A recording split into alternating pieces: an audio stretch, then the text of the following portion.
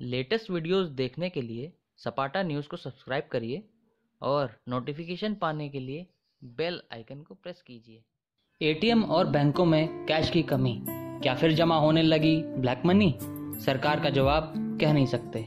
जी हाँ दोस्तों, नमस्कार, आपका स्वागत है सपाटा न्यूज़ में। देश के अलग अलग हिस्से में एटीएम और बैंकों में नकदी की कमी को सरकार ने अचानक बढ़ी मांग का नतीजा बताया है। सरकार ने कहा है कि इन जगहों पर कमी को तेज़ी से पूरा करने के लिए कदम उठाए जा रहे हैं। वित्त मंत्री अरुण जेटली ने कहा कि बैंकों के पास पर्याप्त नकदी है और सरकार स्थिति की समीक्षा कर रही है। बिहार, उत्तर प्रदेश, गुजरात और महाराष्ट्र जैसे राज्यों में कैश की किल्लत अचानक बढ़ गई है।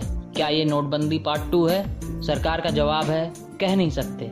आर्थिक मामलों के सचिव एस सी गर्ग ने मंगलवार को बाकायदा प्रेस कॉन्फ्रेंस की, बाकायदा प्रेस कॉन्फ्रेंस की और सरकार के पास नगदी की कमी वाली खबरों का खंडन किया।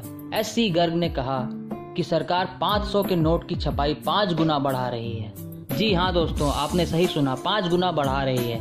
उन्होंने बताया कि मौजूदा वक्त में हर दिन जितने 500 के जितने नोट छापे जा रहे हैं, उनकी कुल कीमत 500 करोड़ है, जिसे पाँच गुना बढ़ाकर 2500 करोड़ रुपए प्रतिदिन किया जाएगा।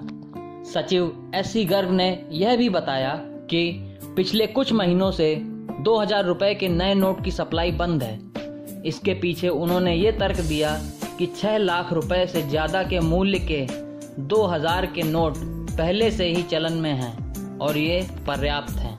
आगे उन्होंने ये भी बताया कि 2000 के नोट बैंकों में जमा होना कम हो गए हैं।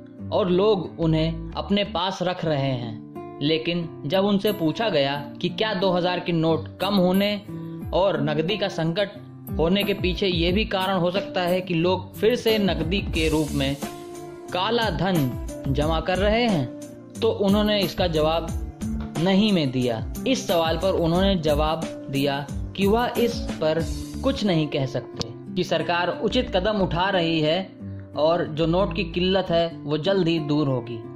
इसी तरह की खबरों के साथ बने रहने के लिए सपाटा न्यूज़ को लाइक, सब्सक्राइब और शेयर करना बिल्कुल ना भूलें।